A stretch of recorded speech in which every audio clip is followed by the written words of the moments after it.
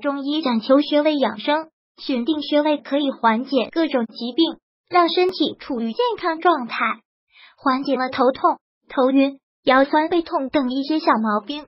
那就跟着来了解一下从头到脚的一些保护穴位吧。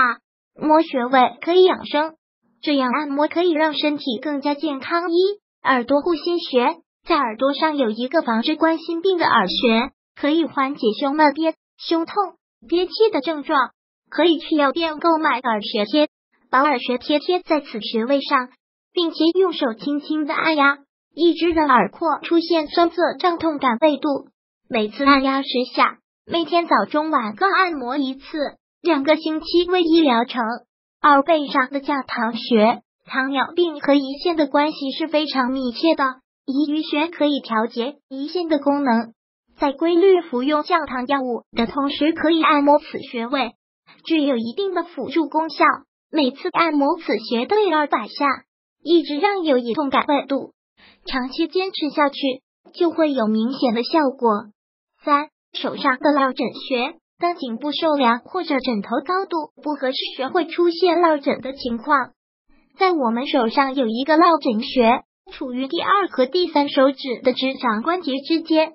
在按摩的时候，可以用对侧的手拇指放在穴位上，其余四指放在掌心进行固定按摩十分钟左右，一直让手指处感觉到发胀、酸痛、累度，同时也要做好颈部的运动。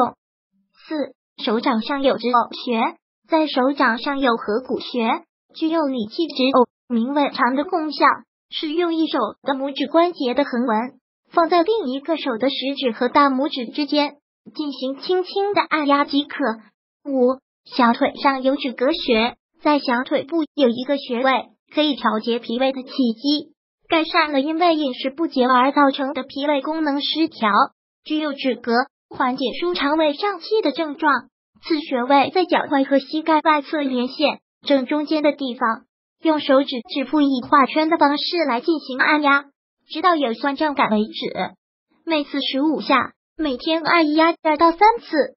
六脚背有降血压穴，在脚背上有一个穴位叫做太冲穴，具有平肝护肝、补益肝肾、疏肝理气、降血压的功效。太冲穴在第一和第二肋骨底结合部前方凹陷的地方，能够触及到动脉的搏动处，这样可以调理肝脏、脾胃、肾脏等。温馨提示：选对穴位来进行养生，能够让身体更加的健康。如果对穴位拿捏不准的话，尽量寻求医生的帮忙。按摩时一定要注意力度。如果喜欢本视频，请分享并订阅本频道，别忘了按赞哦。